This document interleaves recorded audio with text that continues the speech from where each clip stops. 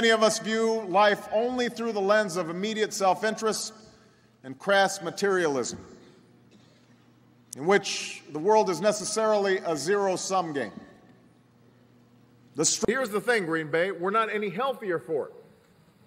We don't necessarily have better outcomes. Even what accounts for the bulk of our costs is the nature of our healthcare delivery system itself. A system where we spend vast amounts of money on things that aren't necessarily making our people any healthier. A system that automatically equates more expensive care with better care. Now, the government may not necessarily uh, hire the doctors or the hospitals. A lot of those may still be privately operated, but the government is the insurer for everybody. Uh, we were handed a $1.3 trillion deficit when we walked in the door. One we necessarily had to add to in the short term to deal with this financial crisis. Now, and the steps we took to save the economy from depression last year have necessarily added to that deficit. About $1 trillion compared to the 8 trillion that we inherited.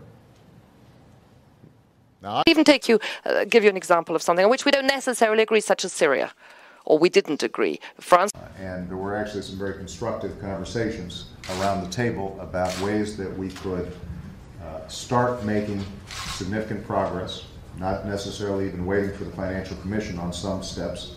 Uh, there, there's not going to be necessarily a deal that says, as Martin, I think, a, a, an entirely respectable position is to say, extend them all for two years and then they go away, right? I mean, and your appearance here today might ne- not necessarily push them in the direction that the, That's right. that the president wants. Insurance, uh, private insurance plans. Right now, you can do that. And this is it's not something necessarily we can legislate, but it's something that all of us have to take responsibility for thinking about. How uh, it is not going to be uh, our ships that are necessarily involved in enforcing the arms embargo. That's but uh, they're under the gun from the international capital markets, and as part as a member of the eurozone, uh, they uh, necessarily are going to be looking to other members of the eurozone to help them figure out uh, a path forward. Germany, we just don't think that we need necessarily new authority from Congress in order to get that done. So we become the best counterinsurgency force in the world but we've done so at the expense of critical conventional capabilities we necessarily let lapse. We be- but it didn't necessarily produce a lot of jobs here in the United States. So, so when these ideas come up for a vote this week, when the TV cameras aren't necessarily on each of them, I expect both sides of the aisle to stand up for our veterans and vote in the affirmative. There's, and by the way, that would not necessarily be a bad thing for the Chinese economy because they've been so focused on uh, export driven growth that they've neglected uh, domestic consumption, building up domestic markets. He doesn't necessarily like to uh, get out in front of people.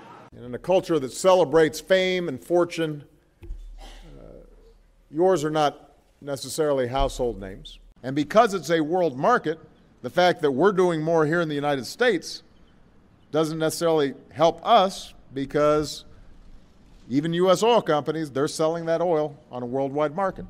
They're in a nutshell, I think and I believe that the sweeping changes in this continent, in addition to waging a bet in or on the domestic markets and also on better income distribution policies, I think that the better performance of this continent will necessarily involve greater and fuller integration.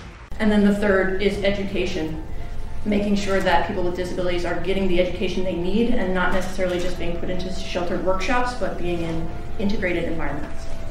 But what we also, one of the things that uh, I've also been pointing out, uh, when you look at a lot of those jobs that go unfilled, they're not necessarily PhD jobs. I think at that time, I didn't necessarily imagine that Nelson Mandela might be released, but I had read his writings and his speeches, uh, and I understood that this was somebody who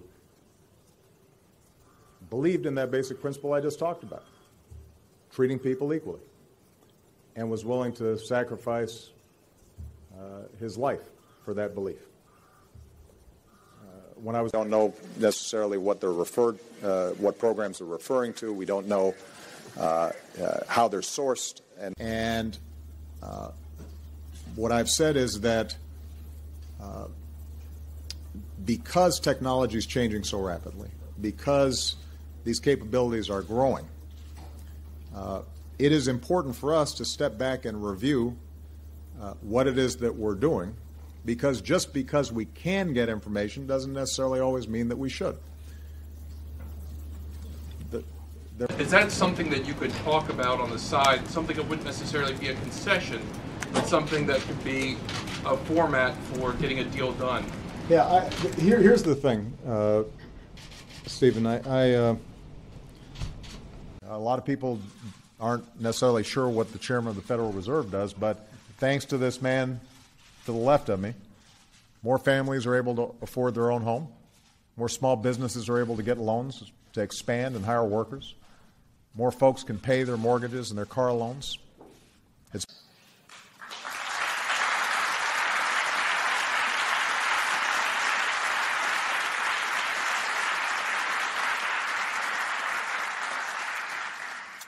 Second, we need to dispel the myth that the goals of growing the economy and reducing inequality are necessarily in conflict when they should actually work in concert. Uh, of the hardliners inside of Iran.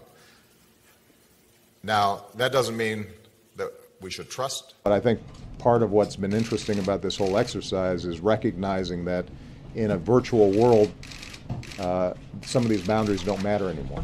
Uh, and just because we can do something doesn't mean uh, we necessarily should. So the answers to many of our challenges today can't necessarily be found in our laws. Uh, we, we don't necessarily grade the severity of concussion. They deserve to be in the company of, but dropped out of school. Yeah. They're not being recruited necessarily where they can dictate terms of employment.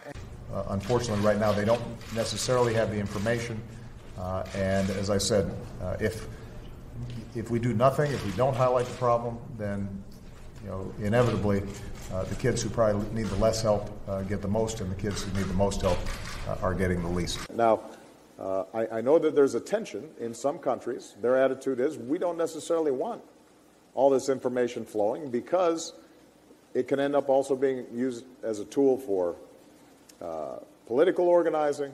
It can be used for uh, as a tool uh, to uh, criticize the government. And so maybe we'd prefer a system that is more close. as I said at the press conference, my attitude has been and will continue to be that good ideas uh, don't necessarily come from just one party. I'm sure he's got some suggestions for fun there, uh, but not necessarily things that uh, a president can do. So, because even though it wasn't necessarily popular in their party. They knew it was the right thing to do. But going forward, our armed forces are necessarily going to need to be leaner.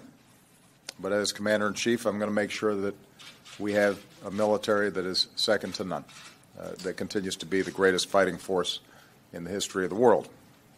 And you shouldn't necessarily have $100,000 worth of debt when you leave, especially if you're going to go into a profession like teaching or keep in mind that this is something that uh, we necessarily have to make choices about because we've got 11 million people here uh, who we're not all going to deport.